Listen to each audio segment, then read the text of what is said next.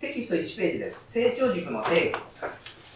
変化する役割と責任を自ら探求する人材の学びやって書いてあるんですけれども、これ毎回言いますけれどもね、とにかく、えー、環境が変化します。えーと、先ほど、小山選手は外部環境が変化してますって言いましたね。これ内部環境も変化します。はい、内部環境も変化します。はいえー、新しい人が入ったり、えー、あるいはお辞めになったり、などなど様々な環境に変化できないといけないとですね。はい、成長軸の狙いですね、じゃあね。充実した人生を送り続けるためにって、ここはもう究極の目的です。はい、皆さんあと何年働きます？で、やっぱりそこを目的にしたいんですよ。いずれ我々ね、必ず死ぬわけですけれども、ね、充実した人生を送り続けるって、それを目的にしたいじゃないですか。えー、で、そういう姿をね、えー、お子さんいらっしゃる方もいらっしゃるかもしれない。ご家族いらっしゃる方いらっしゃるかもしれない。はい。やっぱね、ここですよ、目的は。で、そのために一般の会社と社会の常識を学んでいただいてるんですよね。はい。で、未来、不足の未来に防具と武器を獲得していただくってことが、成長塾の目的でございました。はい、1名、1番です。会計を学び、自分の生活と法要界の、えー、経営、利用しよう。経営管理ですよね。はい。で、利というのは、ちょっと皆さんもう一回利に戻してください。これ基本って意味でしたね。利っていうのは全て基本です。会社っていうのはしっかり人をマネジメントしなきゃいけないです。物をマネジメントしていかなきゃいけないです。時間をマネジメントしていかなきゃいけないし、金をマネジメントしていかなきゃいけない。これ管理です。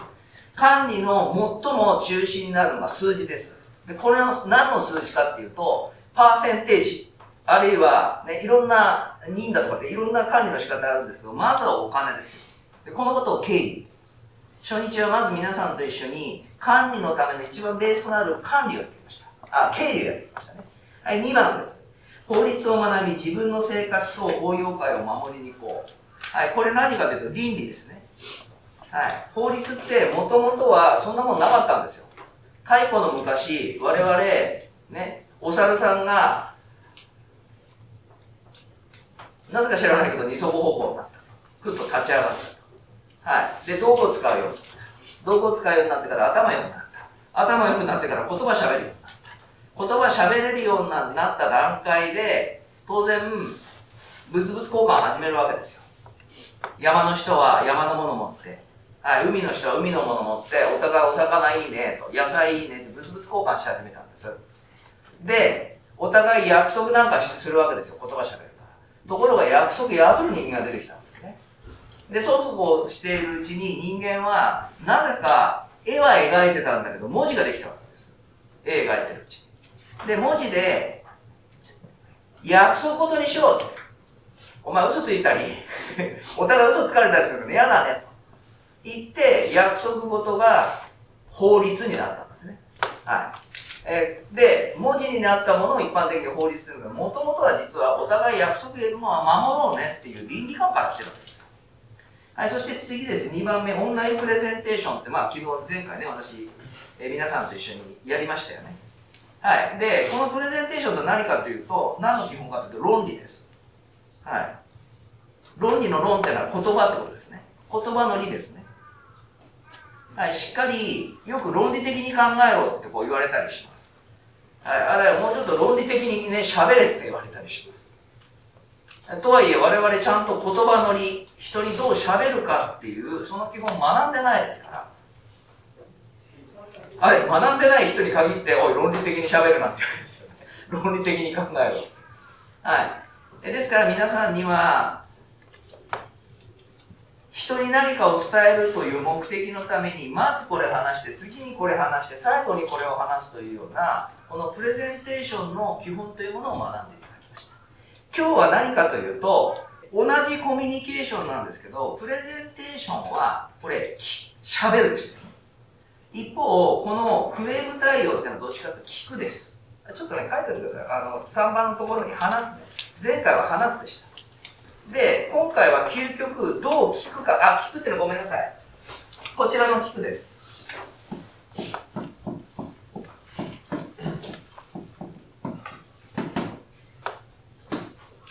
耳に14の心。つまり、クレームっていうのは苦しい情です。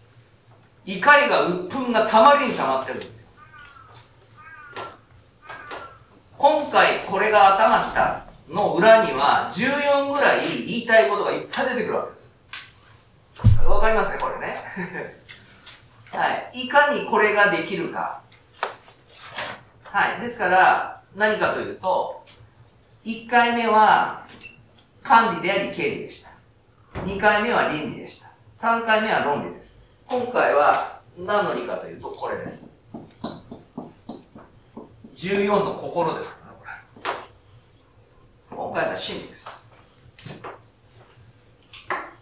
1回目が経理、2回目が倫理、3回目が論理、4回目は真理です。怒ってるわけですから。もう言わないではいられないわけですよ。ただ、防具にするんだけれども、これを通じて、やっぱり、お客さんを作る。そして、お客様に継続的に利用していただく。ここが目的です。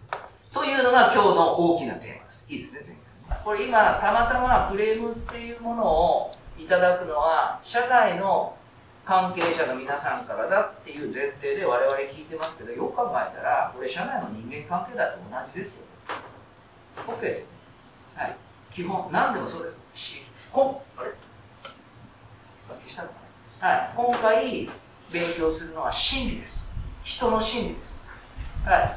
えー、で、今回はフレームの対応というものを特化して聞くということをね、しっかり、えー、プロの聞くというで、聞くって何かというと、先ほど4ページでやりましたように、ただ単に話をね、聞くじゃなくて、本質はカウンセリングですということですね。テキスト4ページの算数で言えば、法要会職員としての存在価値を高めるためのカウンセリングカスタマープレイ。カスタマーのクレームをカウンセリングできる能力です。コミュニケーション変わらないって言ったじゃないですか。人を笑わせるためにという目的のために、つかみがあって前振りがあって、ネタがあってオチがあって僕があってツッコミがあるコミュニケーション全部同じだって言いました、だから同じなんですこれ全部はい喋るにも型があるんですお笑いに型があるこれ、聞くも型があります。同じ同じ同じなんですよ。基本的に。で、これクオリティの話ですよ。質の話ね。はい。で、テキストの2ページも載ってください。一番大切なのは何？はい。このクオリティカウンセリングカスタマークレームになる前に苦情を防ぐ。あ、片山さんの息子さんまた来ていただいてありがとうございます。あの、片山さん今、はい、あの、テレビの前で、また、はい、あの、国会中継見て、国会議員に怒ってます。行ってみてください。はい、失礼します。ごめんください。で、こんなことがクレームの対応を起します。クレーム出さない究極がクレーム対応です。いいです。当たり前ですよ。クレーム対応しなくて済むのが究極のクレーム対応です。ここ皆さんにお願いします。これ一人の一人の努力です。はい。なんだったらネガティブなこと言ったっていいんですよ。片山さん、ごめんなさい。ちょっとこの間、あれの時にもトイレの時に、ね、私爪でちょっと引っかいちゃってなんかちょっと気がすいません申し訳ないです。えいいんですこれでも。はい。ネガティブなことでもいいんです。ちゃんと報告連絡相談することですよ。はい。いいですか？このコミュニケーションの質じゃなくて量です。つまり何かというと利用者さん利用者様のご家族との人間関係をいかに良好にしておくかということです。で聞くにも目的があって要素があって順番があるということですだから絶対間違っちゃいけないもう一回言いますけどこれ顧客ねクレームの対応じゃないですね。クレームの処理でもないですね。処理なんて。クレーム処理なんていうこの言葉はもってのほうですよ。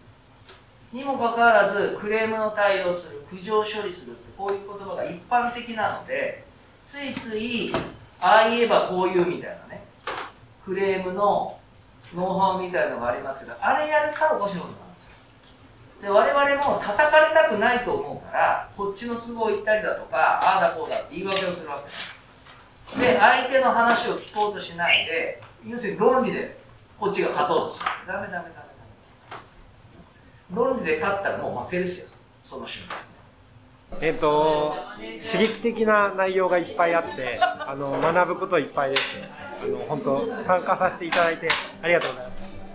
やっぱあの何やるにしてもそういった構成作りとか、えーと、そこら辺が本当大切なんだってすごい学べたのであとはいかに実践するかっていうところで内容はある程度把握はしたんですけど、まあ、実践できないとあまりちゃんとした意味にはならないかなと思うのでそこをちょっと頑張っていければなと思ってます。はい、お疲れ様でした。えっ、と今日はいっぱいロールプレイングができたんで、まあ、自分の行動を振り返ったりとかあのカメラあビデオで撮ったりしてあの自分のあのたなんですかね第三者視点で見れたのでとても勉強になりました。ありがとうございます。相手に伝えるあと相手の話を聞くっていうのがこんなに難しいって思うことは多分なかったのでそういうところが学びかなと思ってます。のクレーム対応は本当にいつ来るかわからないので明日からでもあの実践できると思うんで、はい、明日から頑張っていきます。お疲れ様でしたまず修士から始まったのでちょっと自分の中でもまだまだこうフロアだとかその自分の施設でどういうやり取りをしてるかぐらいしかまだ分かってなかったところがあったのでこう全体的にあの自分の会社がどういうふうに運営されてるのかってところが理解できたのは大きかったかなとあとはしっかりあのプレゼンだとかもそうですけど相手にしっかり伝えることの大切さっていうのも大きな学びだったかなと思います。経理っていうところを一番こう苦手で一番こう避けて通ってた仕事の内容だったので あの本当にこう大きく刺激を受けてあのここからこうどうそれをあの実際の行動レベルで落とし込んでいくかってところをこう改めて考えさせられたところでありますしあの今回のそのプレゼンっていうところもあの内部にかかわらず外部にもこうどうあのアピールしてそれこそこうこう顧客満足度、えー、どういうふうに顧客をこう新しく生み出すかってところのこう実際にこう動き出すためのあの一歩をあのまず学べたなってところでこう仕事の楽しさっていうところをすごくこう実感できてよりこう幅が広がったなっていう介護の仕事の幅がとっても広がったなっていうこうワクワク感をすごく感じたのであのすごくあの参加させていただいてとてもあの正直な嬉しくあの感謝しております。ありがとうございました。ありがとうございましたプレゼン上手だね頑張りましょうありがとうございます。お願いしますでしたそうですね、まあ、この4日間通して、まあ、成長したかなっていう。5日目でも成長曲線ぐんといっちゃってもう成長しすぎて来年あたりには ちょっと待ってこれ絶対使わないでくださいカメラ向いてたから絶対なんかボケること考えてたんだけどボケきれなかった。恥ずかしくなっちゃった。